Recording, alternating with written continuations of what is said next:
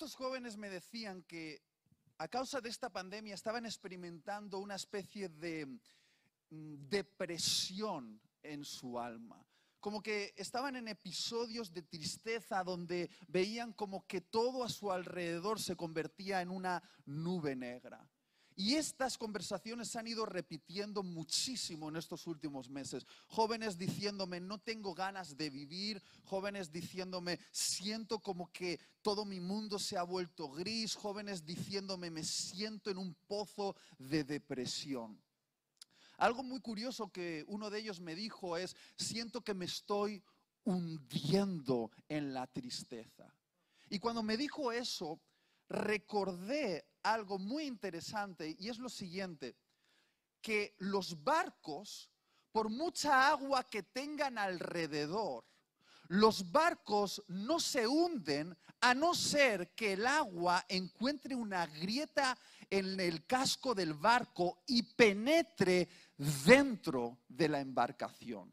Es decir, por mucha agua que haya alrededor del barco, el barco permanece a flote mientras el agua que está afuera no logre penetrar dentro. Y de la misma manera, para mantenernos a flote nosotros, para no hundirnos en medio de este mar de incertidumbre, este mar tan complejo que estamos viviendo de grandes dificultades a escala global, no podemos permitir que la realidad exterior tome dominio sobre nuestra realidad interior. No podemos permitir que lo que estamos viviendo allá afuera, que lo que nos rodea, tome dominio sobre nuestra alma. Tenemos que evitar que la realidad exterior tome dominio sobre nuestra realidad interior. No hay nada más importante en estos tiempos difíciles que custodiar tus pensamientos. Escúchame bien lo que voy a decir. No hay nada más importante en estos tiempos peligrosos que custodiar tus pensamientos. Hay un ataque directo que se está haciendo a tu mente. Aquí es donde se puede encontrar la grieta a través de la cual el enemigo puede entrar para hundirte en la tristeza. Y la pregunta a la que quiero dar respuesta en esta noche es, ¿es posible vivir en alegría en medio de un ambiente hostil, en medio de un ambiente donde las cosas parece que se están desmoronando a nuestro alrededor? Y la respuesta es sí, sí se puede. Y vamos a encontrar la respuesta a esta pregunta, la respuesta de si es posible estar alegres a pesar de que todo a nuestro alrededor sea crispación social, en una de las famosas cartas que el apóstol Pablo escribió a sus amigos en la ciudad de Filipos. Me gustaría que me puedas acompañar a esa carta para descubrir lo que yo llamo el secreto de la alegría de Pablo. Pero muy bien, antes de leer la introducción de esa carta, que me parece muy interesante, quiero ponerte en contexto. Julio, yo sé que los tienes muy bien educados, pero por si acaso, déjame ponerte en contexto teológico. Lo primero que quiero que notes antes de leer esta carta es que esta es una carta honesta que Pablo escribió a sus amigos de Filipos. Pablo cuando escribió esa carta, él no pensaba que estaba escribiendo la Biblia.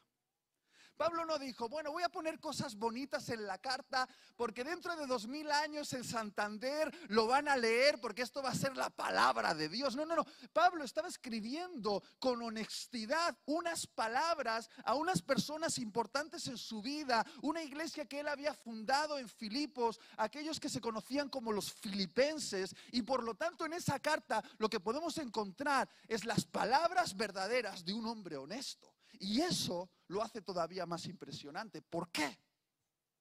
Porque el contexto de esa carta es que se escribió mientras que Pablo estaba en prisión. Según los teólogos, Pablo se encontraba en un arresto domiciliario en la ciudad de Roma. Algunos historiadores afirman que probablemente Pablo estaría en una casa atado de pies y manos con unas cadenas y al otro lado de esas cadenas había un soldado romano que lo custodiaba 24 horas al día, 7 días a la semana, los 365 días del año.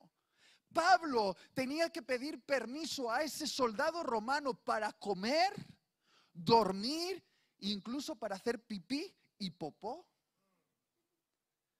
Ese es el contexto de esta carta. Ahora, seamos claros.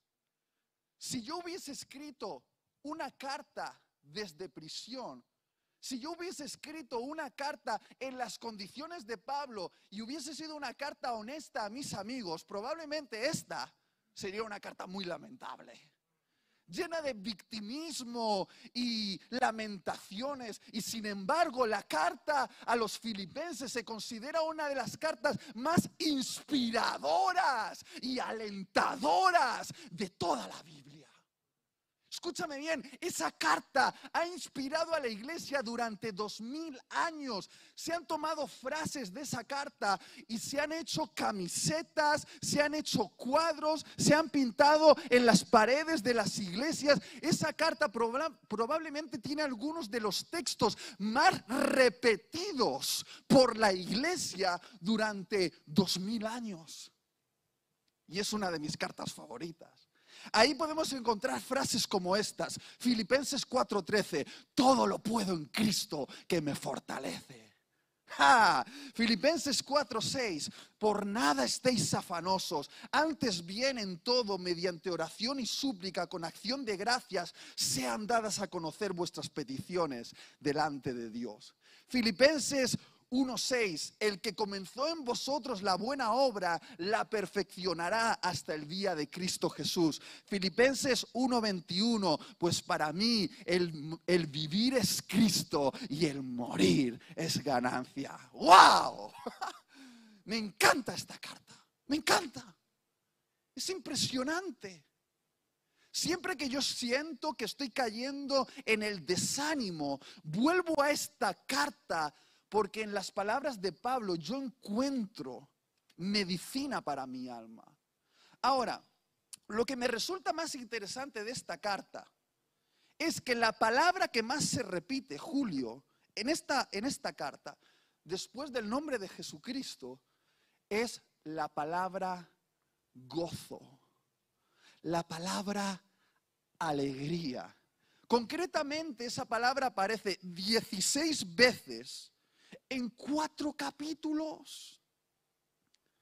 Por eso se le conoce durante mucho tiempo como la carta de la alegría. Y la pregunta a la que yo quiero dar respuesta hoy es, ¿cómo es posible que un hombre en las circunstancias en las que se encontraba Pablo, en un arresto domiciliario, en prisión, le habían arrebatado su libertad, pudo haber escrito una carta tan llena de alegría como esta.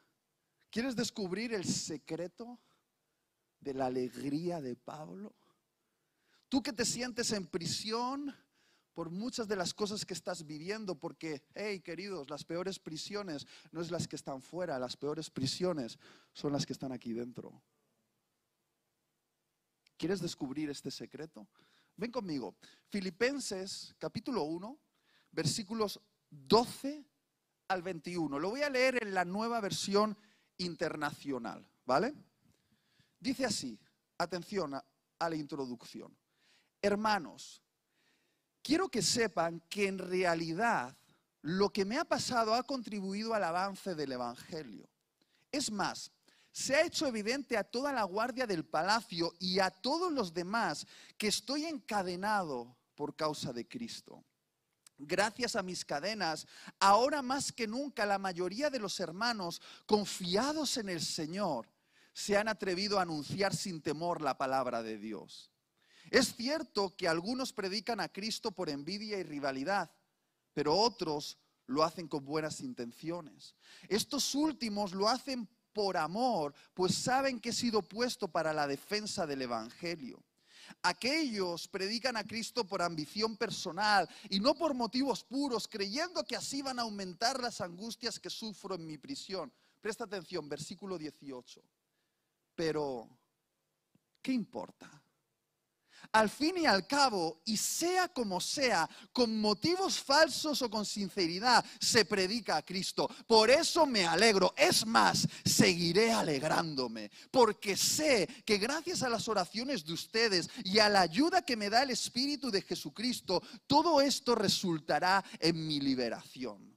Mi ardiente anhelo y esperanza es que nada seré avergonzado, sino que con toda libertad, ya sea que yo viva o muera, ahora como siempre, Cristo será exaltado en mi cuerpo, porque para mí el vivir es Cristo y el morir es ganancia. Por favor, préstame toda la atención que te sea posible en los próximos minutos. En esta introducción que acabamos de leer, Julio, se encuentra parte del secreto de la alegría de Pablo. Y lo primero que podemos notar es lo siguiente, que la verdadera alegría no puede ser circunstancial. La verdadera alegría no puede estar ligada a estar en un lugar placentero, en una playa tomando un poco de agua de coco, o estar con tu cuenta bancaria con muchos ceros, o trabajando en el trabajo que siempre has soñado, o teniendo buena salud, o comiendo lo que a ti te gusta comer. No, no, no, no, no. La alegría no puede ser circunstancial, porque las circunstancias de Pablo era que Pablo estaba en prisión se le había arrebatado lo más básico que tenemos como seres humanos, que es la libertad. Por lo tanto, la respuesta a esta pregunta, ¿cuál es el secreto de la alegría? La encontramos aquí. Y es que la alegría es el resultado de una mente sana. Lo voy a volver a decir. La alegría es el resultado de una mente sana. Este, escúchame bien, por favor, joven, porque vas a batallar con la tristeza en tu vida. Yo he batallado muchísimo con la tristeza en mi vida. Ha sido uno de mis grandes desafíos. He tenido momentos de gran de, de depresión, valles hondos donde sentía que todo el mundo, todo el mundo se volvía negro y venía sobre mí. Y me he dado cuenta de esto, que la alegría es el resultado de una mente sana. ¿Cuánto dolor, cuánto dolor innecesario proviene de una mente que está enferma por el pecado? ¿Cuánto dolor está ligado a tener nuestra mente fracturada? Dañada con pensamientos tóxicos. Queridos, las peores prisiones no son las que están fuera de nosotros. Las peores prisiones son las que construimos aquí dentro en nuestros pensamientos. Aquí es donde comienza nuestra libertad y aquí es donde comienza nuestra esclavitud. Y Pablo lo sabía. Por eso les digo a los filipenses en Filipenses 4:8, en esto pensad y después les da una lista de pensamientos. Es como que les dice, hey, os voy a dar la clave. Tenéis que pensar bien, pensar en todo lo que es puro, en todo lo que es honesto, en todo lo que es bello, en todo lo que tiene buen nombre, en todo lo que es inspirador. En esto pensad, porque Pablo sabía, Pablo sabía que nuestra libertad o nuestra esclavitud comienza aquí, en nuestra mente. Queridos, Pablo no tenía control sobre sus circunstancias externas. Estaba en una prisión, privado de libertad, tenía que pedirle permiso a ese soldado romano para hacer pipí y popó, pero ¿sabes qué? Pablo sí tenía dominio sobre sus pensamientos. Él tomaba responsabilidad sobre la manera en la que pensaba. Y quiero ser muy claro contigo, joven. Creo, quiero que lo aprendas desde que eres bien joven, porque si no vas a sufrir mucho. Todo en tu mundo fuera de ti es incontrolable. Yo sé que quieres tenerlo todo controlado, que has estudiado algo para trabajar en algo, pero puede ser que lo que hayas estudiado jamás te lleve a trabajar en aquello que pensabas que ibas a trabajar. Tú piensas que puedes tener control sobre lo que piensan los demás sobre ti y lo haces a través de las redes sociales, pero no puedes controlar lo que la gente opina de ti. Ni siquiera puedes controlar a las personas que te rodean para que hagan lo que tú quieras. No puedes controlar la economía global y los virus cuando mutan. No puedes controlar a los políticos tomando decisiones. No puedes controlar a tu papá, a tu mamá. No puedes controlar nada. Nada fuera de ti pero sí puedes tomar responsabilidad sobre tus pensamientos. No tienes control sobre tu realidad exterior, pero tienes responsabilidad sobre tu realidad interior. Escúchame bien, piensa en lo que piensas. Piensa en lo que piensas. Toma dominio de tus pensamientos y llévalos cautivos a la obediencia del Señor Jesucristo, porque si no lo haces, tu peor prisión puede generarse aquí. Es una prisión invisible, pero es una de las peores prisiones a la que te puedes enfrentar. Y en estos primeros párrafos que acabo de leer, Pablo nos da una forma práctica, querido Julio, una cosa muy práctica que si prestas atención, notarás cómo Pablo tomaba dominio sobre sus pensamientos cuando estos parecía que se estaban desbocando como un caballo salvaje. Y lo hace a través de dos preguntas que Pablo se hace a sí mismo. Queridos, a veces hacernos una buena pregunta a tiempo puede salvarnos la vida.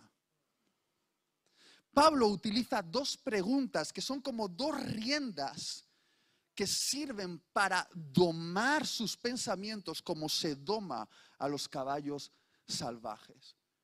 Y algunos dicen, va, Itiel, eso de las preguntas, yo pensé que ibas a decir algo más espiritual. Ey, ey, ey, ey, ey.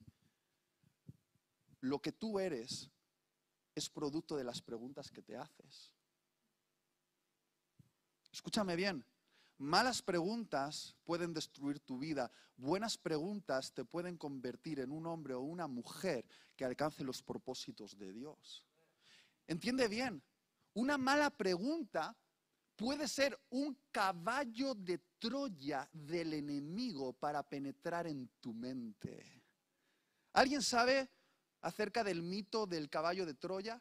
Cuando el ejército enemigo regaló un caballo aparentemente precioso a los enemigos, pero dentro del caballo se escondía el ejército invasor? ¿Cómo logró penetrar la serpiente dentro de la mente de Adán y Eva? A través de una pregunta. Con que Dios os ha dicho que no podéis comer de ningún árbol del huerto. Una pregunta torcida, una pregunta tóxica, una pregunta se convirtió en el caballo de Troya para que Satanás lograse penetrar dentro del corazón de Adán y Eva. Queridos, hay preguntas peligrosas, incluso más peligrosas que cuando nuestras esposas nos preguntan, ¿este vestido me hace gorda? Porque, a ver, digamos, esa, pregunta es muy peligrosa, tú lo sabes. Y si no lo sabes, pronto lo sabrás. Pero hay otras preguntas bien peligrosas como, ¿qué pensarán ellos de mí? Mala pregunta. ¿Por qué a mí siempre me pasan cosas malas? Mala pregunta. ¿Por qué nadie me valora? Mala pregunta. ¿Por qué soy tan estúpido? Malísima pregunta. Cada vez que nos hacemos estas preguntas, Satanás se apoya en la pared con una libreta y dice, ¿quieres que te dé las respuestas? Quizá el secreto de la alegría es tener menos respuestas y mejores preguntas. Muchas veces jóvenes bien enfadados con Dios me dicen, es que yo le he preguntado algo a Dios y Dios no me contesta. Y digo, hey, nunca Dios te hizo la promesa de que iba a contestar todas tus preguntas y quizá lo que necesitas es menos respuestas, pero mejores preguntas.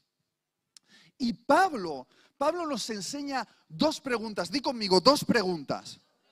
¿Cuántas? ¿Cuántas? ¿Cuántas? Dos. Dos preguntas que si nosotros nos las hacemos en nuestras circunstancias difíciles, podremos tener gozo cuando parecería que ese gozo es imposible. La primera pregunta está en el versículo 18, es, ¿qué importancia tiene? Y la segunda pregunta está en el versículo 14, que es, ¿qué significado tiene? Di conmigo, ¿qué importancia tiene? ¿Y qué significado tiene? Vamos a hablar de la primera pregunta, ¿qué importancia tiene? En los versículos, por favor, presta atención porque esta es la parte práctica. Ya estoy llegando al final. Tienes que prestar atención porque te voy a dar una herramienta que a mí me ha salvado la vida. Yo he batallado mucho, mucho, mucho con la tristeza. No os podéis imaginar las presiones a las que estoy expuesto cada vez más debido a ser un personaje público. Parece que todo el mundo puede opinar de mí, parece que todo el mundo sabe si soy bueno, si soy malo, parece que todo el mundo tiene expectativas conmigo, parece que todo el mundo, mira, es muy difícil. Yo sé, tú tienes tus tensiones, yo tengo las mías, Julio tiene las suyas. Él me ha contado lo que está batallando en su familia con la salud de su esposa. Mira, todos, todos tenemos batallas, batallas. Y hacerme estas dos preguntas me ha salvado de caer en la prisión de la depresión para, el resto de mi vida. La primera pregunta es, ¿qué importancia tiene? En los versículos 15, 16 y 17, Pablo está escribiendo esa carta. Probablemente Pablo la estaba escribiendo a mano o quizá tenía un escriba que mientras él iba dictando escribía. Ellos no escribían con un ordenador y no podían borrar fácilmente lo que escribían. Y parece ser que la mano de Pablo se estaba moviendo y escribía mientras sus pensamientos se desbocaban. Y él decía, es que algunas personas, estas, estos tipos que aprovechando que estoy aquí en la cárcel, están intentando ganar ventajas sobre mí y me están haciendo fechoría y se están aprovechando y están hablando mal de mí. Y Pablo empieza a relatar como si su mente estuviese desbocada, pensando en cómo las personas de fuera le estaban haciendo daño, cómo le estaban atribuyendo y ofendiendo, él empieza a escribir, empieza a escribir. Y cuando él nota que está perdiendo el control de sus pensamientos, para. Para. Y se hace una pregunta, no a ti, sino a él. Y la escribe en ese papiro que nos ha llegado hasta el día de hoy. Se hace una pregunta, versículo 18. ¿Qué importancia tiene? Pablo, ¿qué importancia tiene? Y él mismo medita sobre esto y se responde a sí mismo y dice, en realidad ninguna lo que ellos me estén haciendo a mí no tiene importancia porque lo que realmente es importante es que el reino de Dios sigue avanzando sin control y el mensaje del Evangelio tiene tanto poder que está salvando la vida de miles. Y Pablo después de decir eso dice, por eso me voy a alegrar. Sí, me voy a alegrar y casi parece una amenaza para sus enemigos. Les dice, jaja, voy a estar contento. Queridos, eh, entended bien lo que voy a decir. Esta, esta es una gran pregunta que cuando tus pensamientos se están desbocando, te puede ayudar a tomar las riendas de tu mente y traerla bajo dominio. ¿Qué importancia tiene? Hacerte esta pregunta a ti mismo cuando alguien te ofende, cuando algún plan no te sale bien, cuando estás enfrentando una dificultad, cuando algo malo te ocurre, cuando te ha salido un granito en la nariz, cuando el chico que te gusta no te guiña un ojo, cuando la foto que publicaste en tus redes sociales no tiene muchos likes, cuando has suspendido un examen o cuando algo te pasa, hacerte esa pregunta, hacerte esa pregunta lo puede cambiar todo. Ey, ey, ey, ey, ey. Y Tiel, espera, para ahí. ¿Qué importancia tiene? Di conmigo, ¿qué importancia tiene? Y para responder a esa pregunta te voy a dar una pista. Si se trata de tu ego, no tiene importancia. Te lo voy a volver a decir. Si se trata de tu ego, no tiene importancia. Si se trata de tu yo, si se trata de tu orgullo, si se trata de tu ego, no tiene importancia. ¿Sabéis qué es justo lo contrario a la felicidad? El ego. ¿Cuánto ego en tu vida te ha robado la alegría? Queridos, ¿cuántas cosas que pensabais que eran importantes en vuestra vida, que nos han dejado dormir por las noches, cuando pasen los años como yo, ahora tengo 36 años, sé que piensas que tengo 18, pero ya tengo 36 y yo miro hacia atrás a ese chavalito de 18, 19, 20 años que estaba preocupado por un montón de estupideces, pero que pensaban que eran importantes y ahora sé que no importaban nada, no importaban nada cuánto tiempo perdido, cuánta alegría desperdiciada por mi propio ego, por mi propio ego. La alegría y el ego no conviven bien en el alma. Y lo peor, querido Julio, es que tardamos demasiado tiempo en descubrir lo que realmente es importante en la vida.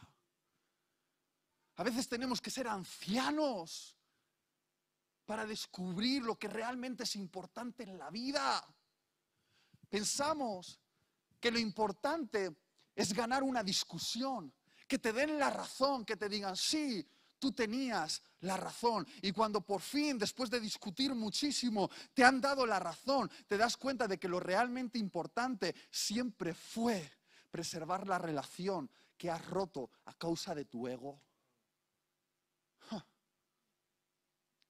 Piensas que lo importante es tener muchos seguidores en tus redes sociales y que la gente te admire y que te aplauda, que tengas notoriedad, influencia y empiezas a dedicar tu vida a esto para un día darte cuenta de que lo realmente es importante es ser amado por alguien, ser amado por alguien que te conozca realmente y no tener cientos de fans, sino tener algún amigo verdadero.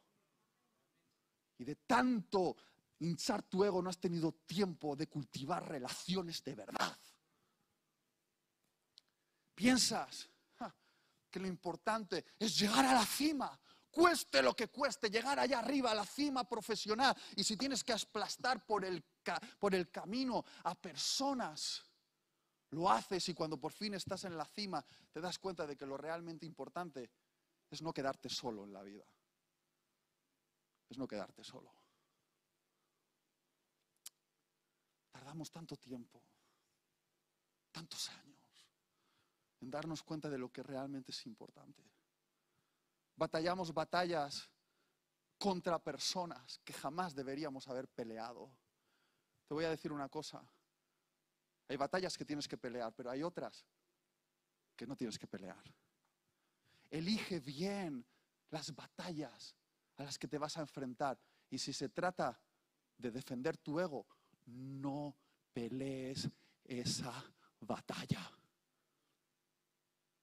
Si en tu matrimonio, sé que muchos no estáis casados, pero si en tu, matrimonio se trata de defender tu ego, no pelees esa batalla. Si en algún círculo social como la iglesia o como tu colegio está pasando algo y se trata de defender tu ego, no pelees esa batalla. Tu ego no importa. Este mundo se ha dicho que la alegría es ampliar tu ego y que tu ego brille y que todo el mundo aplauda tu ego. Mentira. Cuanto más grande tienes tu ego, más triste te sientes. Porque si no, ¿por qué se suicidan esos ricos y famosos y se dan un chute de, narcóticos o se ponen una soga a la cabeza pareciendo que lo tienen todo? Son ricos, guapos y famosos, pero están deprimidos porque la verdadera alegría no tiene que ver con tu ego. No tiene que ver con eso. Algunos dicen, y Tiel, pero es que me han ofendido, me han ofendido. Sí, que te ofendan es algo que te pasa pero mantenerte ofendido es algo que decides. Lo voy a volver a decir. Que te ofendan es algo que te pasa, pero mantenerte ofendido es algo que decides. Y Pablo lo sabía muy bien, le habían ofendido, sí, ciertamente se estaban aprovechando de que estaba encarcelado para arruinar parte de su trabajo. A Pablo lo estaban ofendiendo, pero Pablo dijo, hey, yo voy a decidir no estar ofendido. Y aunque Pablo era un prisionero en Roma, en Roma no había un hombre más libre que Pablo, porque Pablo era libre de su ego. Él no estaba encarcelado en la prisión invisible de la ofensa que eres un hombre libre en toda Roma. Era Pablo encadenado con cadenas en sus brazos y en sus pies, pero libre en su mente. El hombre más libre de toda Roma estaba en la cárcel. Estaba en la cárcel. No sé si me estás entendiendo. Pablo lo tenía muy claro, Filipenses 3:7. Cuántas cosas para mí eran importantes antes y las estimaba como ganancia y cosas súper importantes en mi vida. Y ahora he descubierto que son basura. La palabra en griego es son estiércol. En realidad la palabra es más fuerte, pero si la digo, Julio me tiene que echar de la iglesia porque suena muy mal.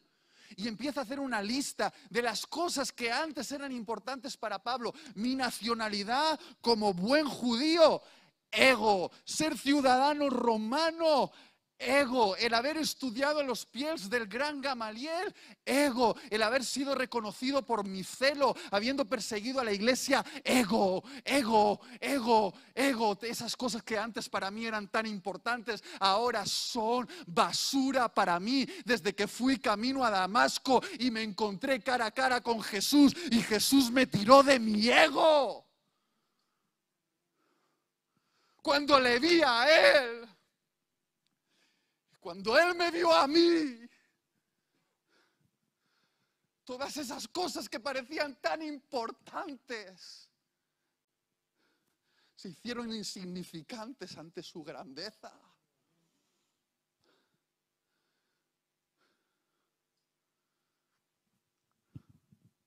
Tú sabes lo que realmente es importante.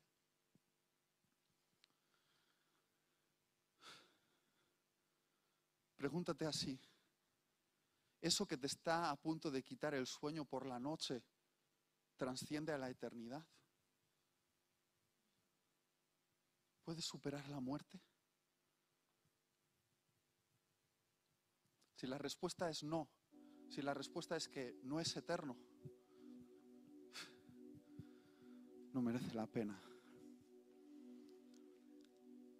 Hubo un acontecimiento en los evangelios, donde dos hermanas, Marta y María, tenían en casa aquello que es lo más importante de todo. Tenían a Jesús en casa. Y una lo vio, pero la otra no lo vio. María lo vio, vio a Jesús y se dio cuenta, esto es lo más importante de todo. Y se echó a los pies de Jesús para escucharle hablar.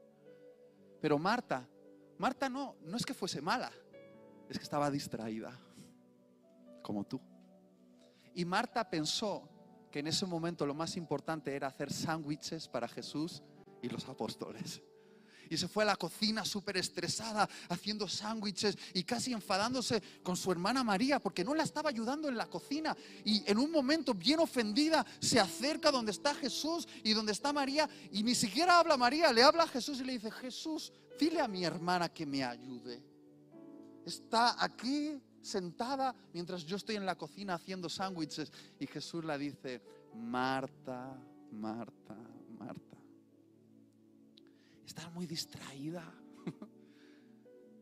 Haciendo sándwiches, que no hay, no hay nada malo en hacer sándwiches. Pero es que a veces, a veces en nuestra vida, el problema no es el pecado, sino que ordenamos mal nuestras prioridades.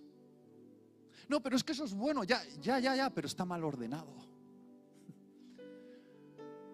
Y Jesús le dice, Marta, es que no lo has entendido. María sabe que esto es lo más importante. Y cuando los sándwiches se acaben, lo que hoy María tiene, nunca le será quitado.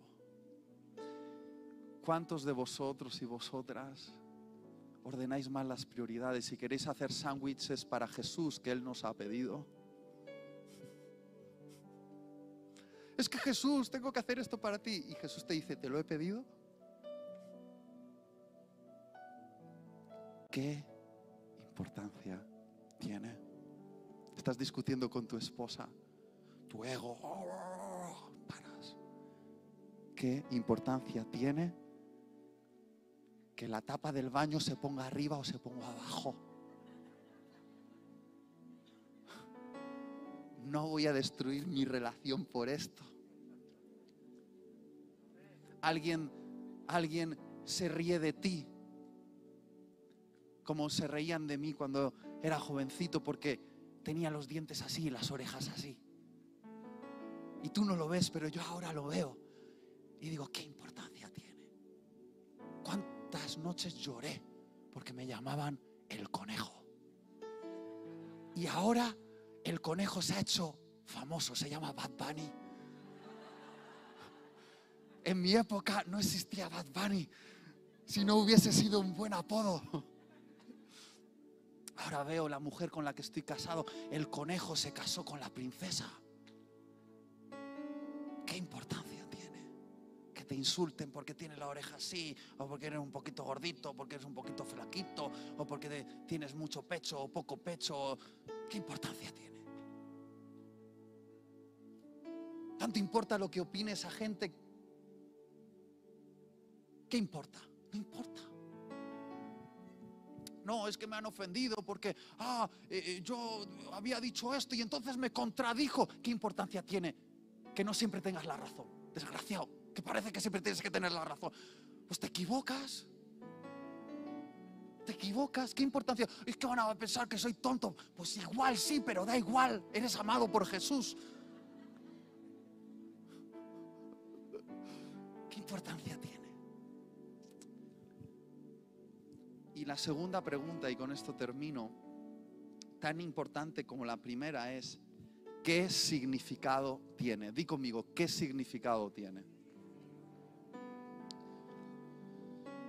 Mira, en, en, el versículo 14, ahí Pablo estaba escribiendo y la pregunta no se ve tan clara, pero Pablo podría haber dicho, estoy aquí porque el imperio romano me apresó y soy una víctima del imperio romano. Pablo podía haber dicho, estoy aquí por esos malditos judíos, mis compatriotas que me traicionaron, soy una víctima. Mira, Pablo podía haber dicho, estoy aquí y soy un pobrecito, una víctima de mis circunstancias, pero de repente Pablo piensa, hey, ¿qué significado tiene esto? Y en el versículo 14 él dice, estoy aquí por la causa de Jesucristo. He sido puesto en el imperio romano, en la capital del imperio romano, para la defensa del Evangelio. Y Pablo levanta sus brazos y sus manos y mira sus cadenas y dice, además, fíjate lo que dice Pablo, además, mirando sus cadenas, además estas cadenas están sirviendo de inspiración para toda la iglesia alrededor del mundo, que al verme a mí encadenado, pero al verme valiente, se están animando a ser valientes ellos también. Y mis cadenas se están convirtiendo en un manifiesto para dar valentía a la iglesia.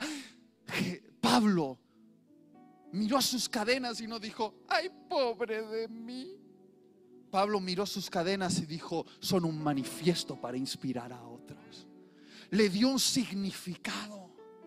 Y esto es lo que quiero decirte, dale un significado a tus cadenas. Dale un significado a tus cadenas. Es cierto, han sido cadenas que han sido puestas sobre ti. Tú no tuviste control sobre esas cadenas, pero ahora te están apresando. Lo que sí puedes hacer es darle un significado eterno a esas cadenas. Si puedes ver propósito divino en el dolor que estás experimentando. Yo con el tiempo me he dado cuenta de que mis peores cadenas en el pasado hoy están siendo la inspiración de muchos. Cuando yo hablo de las cadenas de mi pasado, ahora las levanto como un manifiesto para inspirar a muchos. Tienes que darte cuenta de que hay cosas que estás viviendo hoy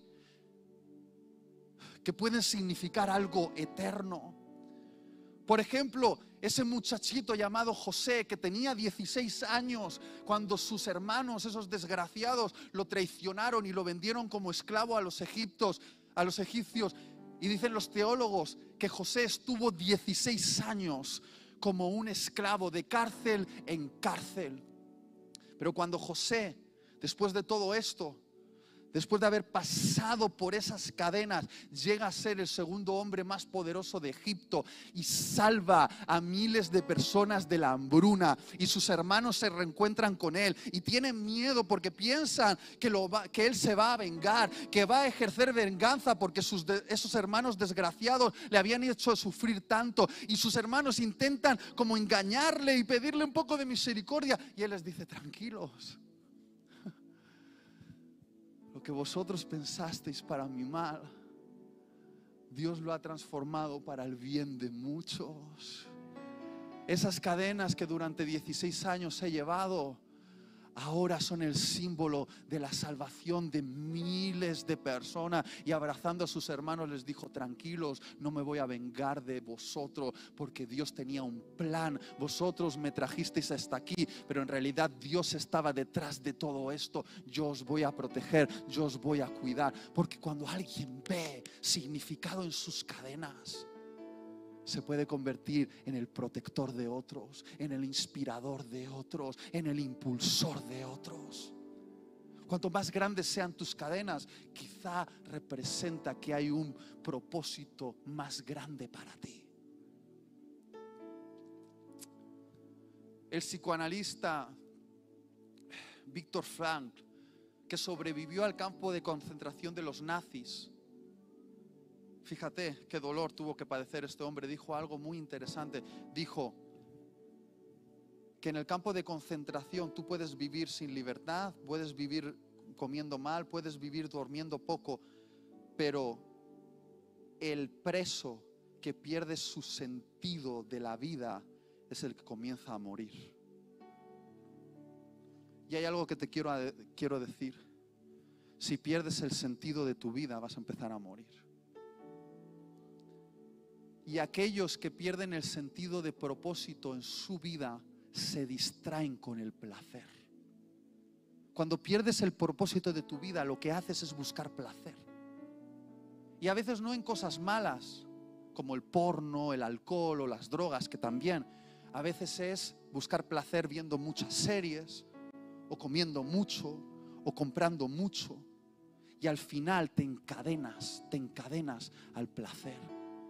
Y te voy a decir una cosa, tienes que elegir qué cadenas quieres llevar. ¿Quieres estar encadenado al placer o quieres estar encadenado al propósito aunque duela? Quieres pasar tu vida siendo un consumidor de series en Netflix y pasando el rato y comiendo hamburguesa y estando así todo el día pasando, porque bueno, un poco de placer que sufro mucho. O quieres mirar tus cadenas y decir, estas cadenas son una oportunidad, tienen propósito, tienen propósito. Mira, tienes demasiado propósito como para estar llorando por tus cadenas. Tienes demasiado propósito en tu vida como para estar encadenado al placer. Tienes demasiado propósito para estar viendo por día tras día, consumiendo videojuegos sin control, comiendo sin control, pasando tu vida en cosas que no valen nada. Placer momentáneo. Tus cadenas tienen sentido. Tienes que ponerle propósito. Y termino con esto. Esa mujer, esa mujer que hace unos años atrás, cuando yo yo no tenía la madurez que tenía ahora porque no sufrí todo lo que he sufrido hasta ahora. En aquel momento era un jovencito que, que no había conocido las cadenas, pero predicaba y metía mucho la pata. Y recuerdo que después de una reunión como esta, después de bajar de predicar, una mamá se acercó a mí y tenía en sus manos a un bebé que claramente tenía síndrome de Down. Y yo lo primero que pensé cuando esa madre se acercaba, que tenía que decirle algo para consolarla, algo así como, pobrecilla, bueno, ¿cómo lo llevas? Ay, pobre de ti. A veces soy un poquito bocazas, pero gracias a Dios esa mujer no me dejó hablar. Y habló ella primero. y con una sonrisa en su boca, Julio, una sonrisa que jamás olvidaré, me enseñó a su hijo, lo puso en mis brazos y me dijo, ¿has visto a mi hijo? Y mirando hacia arriba dijo, Dios debe confiar mucho en mí.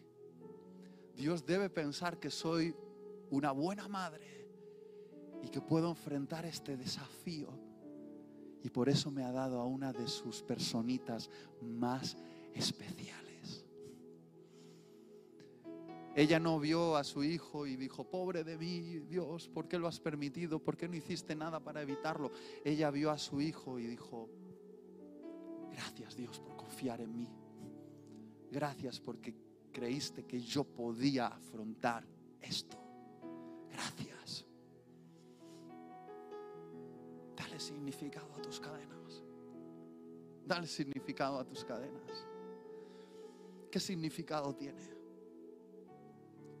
Y le estoy sufriendo mucho. ¿Qué significado tiene? Puede ser que detrás de ese sufrimiento haya un propósito eterno. ¿Qué tal si lo que estás viviendo es una oportunidad para que los ángeles en el cielo y los demonios en el infierno se queden tan impresionados como cuando Job adoró lleno de sarna? Quizá Job no lo vio en el momento, pero hoy el libro de Job está dando consuelo a un montón de personas que pasan por enfermedad. Job tardó tiempo en verlo, pero al final lo entendió, tenía significado. Él ha sido la inspiración para muchos. Todas las historias en la Biblia son historias de hombres y mujeres que sufrieron, pero que ahora en la distancia nos están inspirando a nosotros con su sufrimiento a mantenernos fieles, a mantenernos en pie. ¿Qué significado tiene? Estas dos preguntas. La primera es, ¿qué importancia tiene? Y la segunda es, ¿qué significado tiene? Si nos hacemos esas dos preguntas en medio de la circunstancia que estemos viviendo, podemos terminar como Pablo terminaba esa introducción. Queridos filipenses, pues la verdad es que no sé si os volveré a ver, me gustaría, pero no sé si voy a vivir o voy a morir. Pero da igual, porque sea que viva o muera, para mí el vivir es Cristo y el morir es ganancia. Es decir, tengo el boleto ganador. ¿Cómo vivirías tu vida si supieses que tienes el boleto ganador? Pues tengo una noticia para ti, tienes el boleto ganador. Para ti el vivir es Cristo y si mueres, ganancia, porque vas cara a cara con aquel que es tu vida. Entonces, ya tienes el billete ganador. ¿Cómo vas a vivir tu vida? Pues con alegría. No tienes nada que perder. Ay, es que no consigo el trabajo que quiero, es que no me va bien, es que me ha salido un grano en la nariz. Que tienes la vida eterna, desgraciado, que no te das cuenta que tienes el billete ganador. Ya está, salvado eternamente, que hay gozo eterno para ti al otro lado, que hay un cuerpo nuevo con el que vas a resucitar. Es que no lo estás entendiendo. Pablo lo sabía. Ponte de pie, ponte de pie y dale un aplauso a Jesús. Vamos, más fuerte, dáselo a Jesús. Dáselo a Jesús.